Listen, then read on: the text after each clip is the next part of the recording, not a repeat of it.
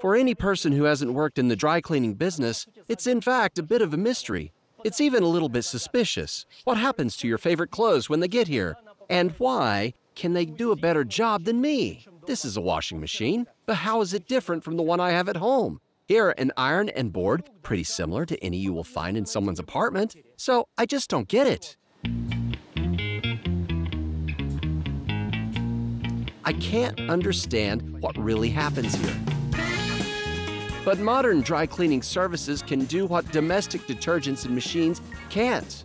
But what exactly is it that they do? What mechanisms do they use? And is there anything they can't do? Make yourself comfortable. Now, I will reveal all their secrets.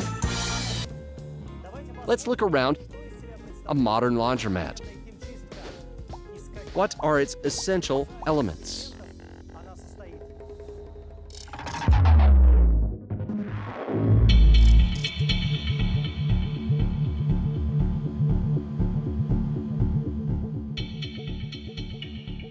Here it is, a dry cleaning machine.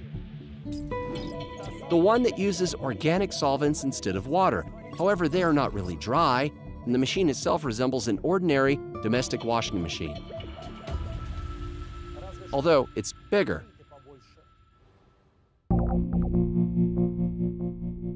And inside, the items that cannot be cleaned with water are spun and cleaned. Woolen things, coats, suit jackets, pants, leather and suede clothes, sheepskin coats, jackets, fur coats, delicate fabrics, silk linen. It seems that this is a regular wash. But let's wait for the end of the process to make sure that they are clean and dry. Organic solvents rock.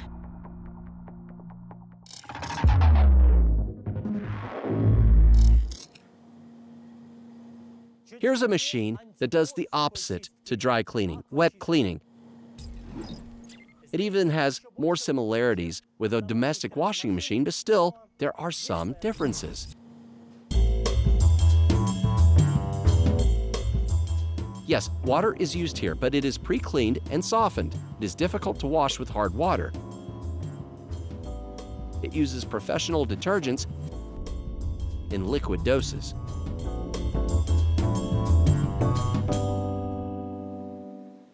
You can also find fabric conditioners similar to supermarket ones. Some of them make clothes softer. Others, on the contrary, give them a starchy effect. Water temperature varies from 80 to 110 degrees Fahrenheit. It doesn't rise above 110. And here is a special advanced mode for spinning the drum.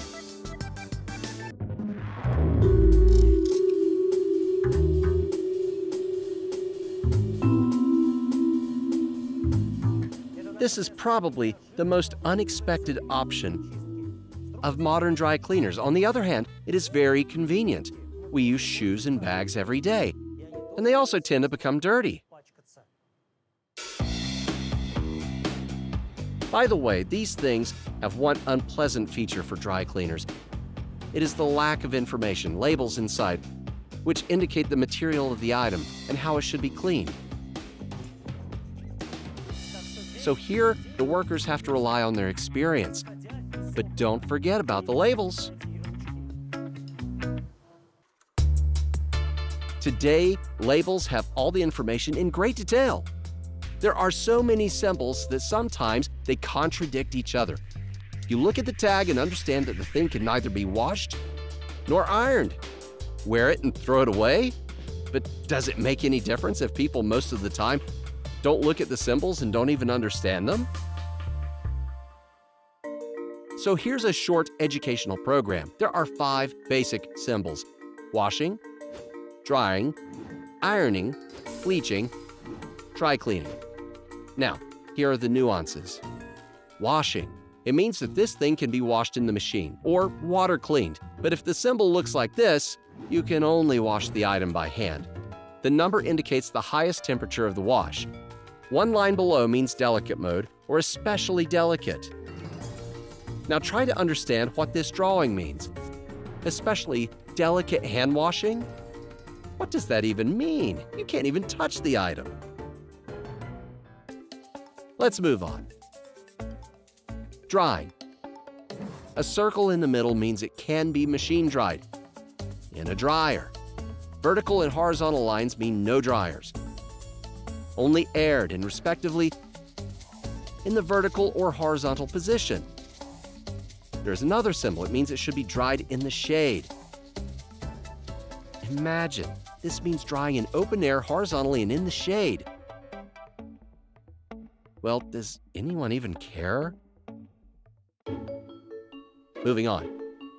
Ironing. Well, this is the most understandable and obvious symbol. The dot inside means temperature. The more dots, the hotter the iron.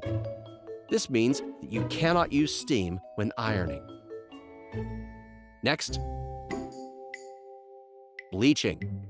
There's a funny clarification. If there's a triangle, then bleaching is not allowed with substances containing chlorine. Again, I don't understand who really cares. And finally, this symbol is the symbol for dry cleaning. That is, the item should not be washed with water, only with organic solvents. P means tetrachloroethylene. F, hydrocarbon solvents, the ones used by the very first dry cleaning services. And finally, the crosses mean prohibited. And trust me, some labels indicate that you can't do anything with a piece of clothing. I'm really curious to find out what dry cleaners do in that case. And now, the main secret of dry cleaning. What happens to your favorite clothes when they get here?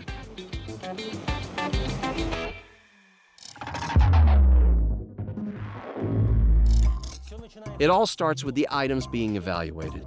Things are not just taken for cleaning, they are described in detail. What stains they have, damage, and so on, so that no issues arise later on.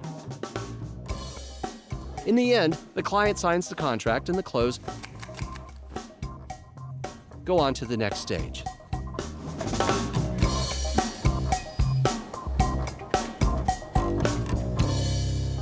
Sorting.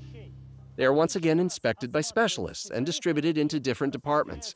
Some will be water cleaned, others dry cleaned, and so on.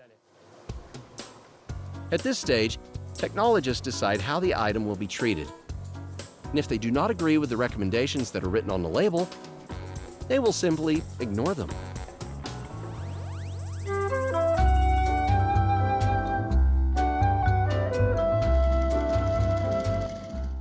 This is a very important stage. All accessories, buttons, fasteners, jewelry, are unsewn. All the things that can't be unsewn are covered with a soft cloth. I could see it somewhere. Yeah, here. Hardly anyone will do this at home. It is done to prevent the accessories from damaging the fabric. And the next stage pre-soaking or manual cleaning. It is also professionally called pre-treatment.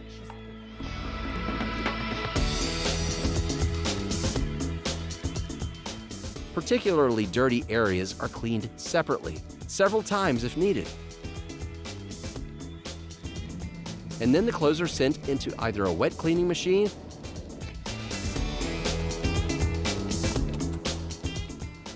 or a dry cleaning one. By the way, one item is never washed separately. One shirt, one jacket, no. Only a few things together at once. And it's not done like that to save money.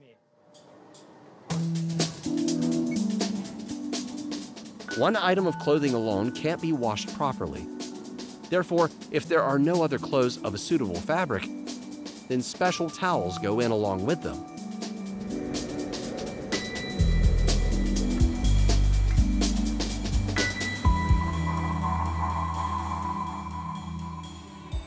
After the treatment, everything is examined again, and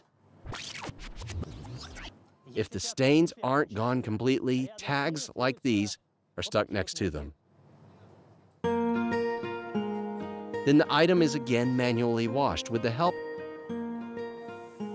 of this steam gun.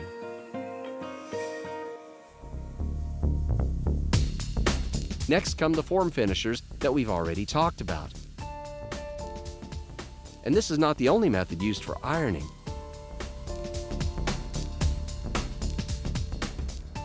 There are machines that straighten cuffs and collars.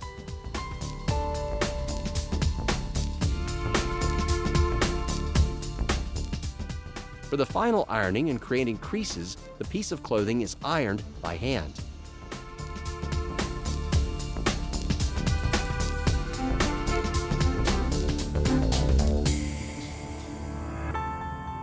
At the final stage, all the accessories are sewn back in place. Buttons are sewn, fasteners, zippers, and jewelry. And all the clothes are put on hangers or shelves until the client comes to collect them.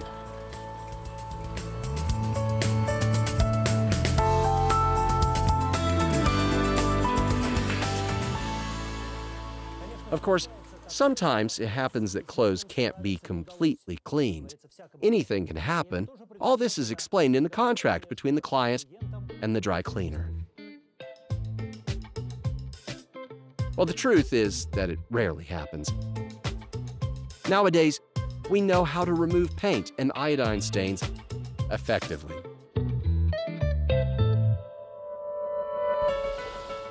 Dry cleaning is the final frontier.